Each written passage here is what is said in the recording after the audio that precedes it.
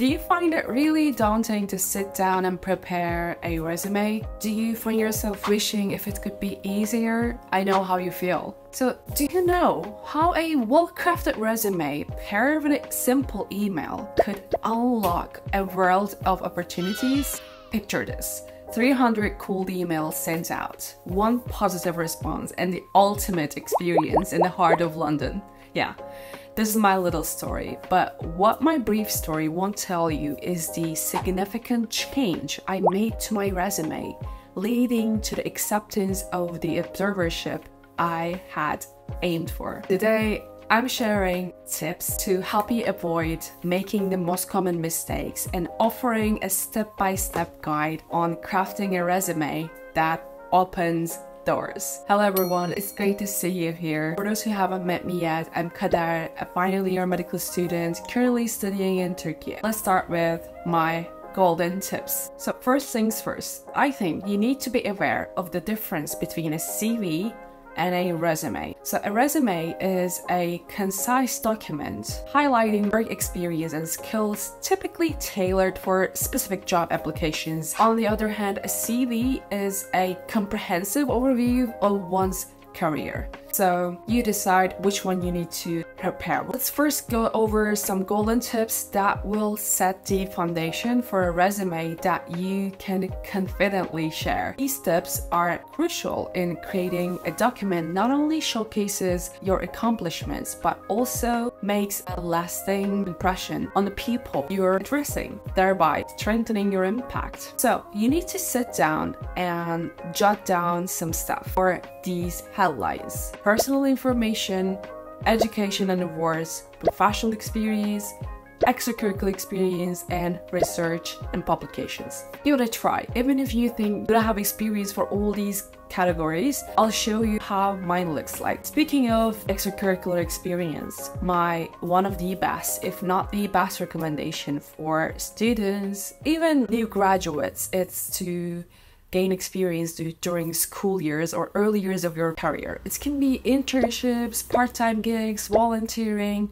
I mean, leaving the profit they'll add to your resume aside, they're gonna be a wonderful life experience. So, moving on with my tips. On your resume, you need to organize each section chronologically, starting with your most recent experience and working backward would create a clear flaw. Speaking of which, your resume needs to be well organized and easy to follow, as a very complex and random looking resume might lose interest immediately, which leads me to tell you what are the things you should definitely avoid doing. Let's start with your contact info do not state your full address. I think it's no longer relevant. So instead, just add a city or a state, even just your LinkedIn profile will do. Stop using weak action words like I helped, I was responsible.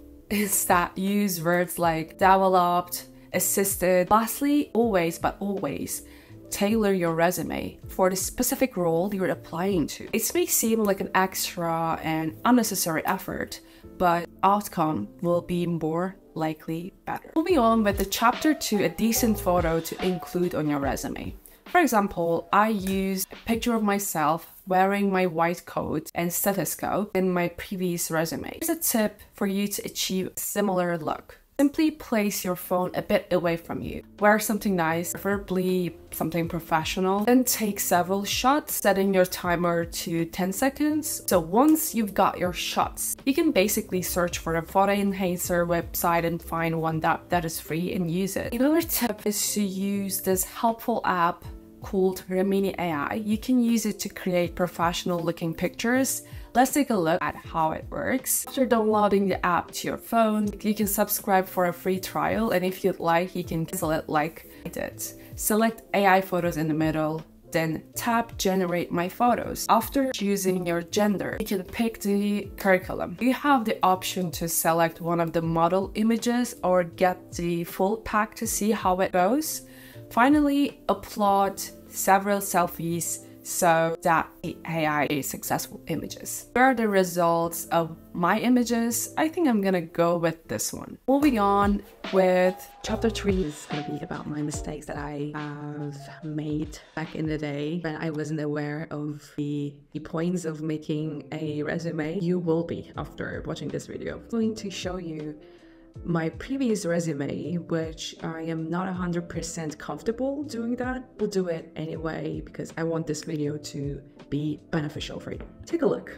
I mean, at the first look, it doesn't look awful, but when we get into the details, there are some problems. I mean, just look at the summary. Of course, we use AI, we use ChatGPT, but not sounding very human writings could actually harm you instead of making a good impact. Let's go one by one. I liked that I knew I don't have to put my full address, so that's a good thing. On the relevant skills part, it's kind of like too much. I don't even want to read it. Okay, self-motivated. What is self-motivated anyway? Language is Turkish native, English advanced C1. My problem here is just I don't think that looks really professional, so I would rather choose something like English proficient, French elementary, maybe, maybe basic, and um, education. So the headline is education history, but there's not much of a history here. It's just like fifth year faculty of medicine. I think year of graduation is pretty self-explanatory. On the experience part,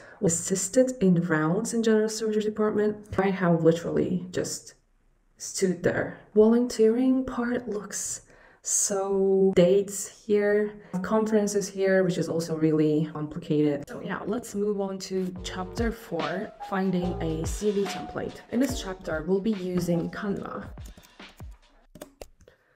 There you go. Then search for CV templates. All right, find the one that appeals to you and uh, try to choose a template that would be efficient of the information that you're gonna put on. You kind of like have to pre-think actually, because if you have like five main sections that you're gonna put on your resume. If you choose something like this, you know, it's just gonna be a waste of time. So let's move on to planning. And there we have my notes here. So I prepared a note having all the info that I'm gonna put on my resume. Starting with contact info, summary or objective statement, I went for a summary. My relevant skills here, I might just use five of them, but I list it anyway, because it's important to tailor your resume based on where you're applying to. So list at least 10 of them. Languages here, education here, just wrote my uni and my year of graduation. For the experience part, I wanted it to be more specific, so I chose saying clinical observerships. I included all the observerships that I've done so far, starting with the most recent one, London we see volunteering and conferences here. And here's the research and publications, which is important. So I've included the congress and the date, the topic of the research. Here's the extracurricular experience section which I have discipline committee president for Uni Dance Club and I'm the founder of a student club. It's basically for med students and film club member here. That is it for the info I'm planning to put on my resume. Here, I want to share some ChatGPT prompts with you guys. I think it, will they'll be really helpful for you. That is the prep we have here. Let's head to Okay, so let's see. By the way, avoid the ones with a Canva Pro icon in the right corner if you don't have a premium account like me. So that looks nice. Liked it. That is also nice. I really like the colors. I think it's really aesthetic. So I'm gonna go for this one. Okay, let's start customizing the template. Right, volume. Let's say meta medical student. I want my little summary to be up here. So going to my notes. That is better. By the way, I'll have the parts that I do little details because I don't want this video to be boring for you. So let's add a text box here. And paste. There you have it. Adjust the size of it. Okay. Delete image. Um, uploads. I have it on my uploads here. There you go. Okay, looks good already. Going back to your name, make sure to use a professional font. I'll go for something else. You can use it too.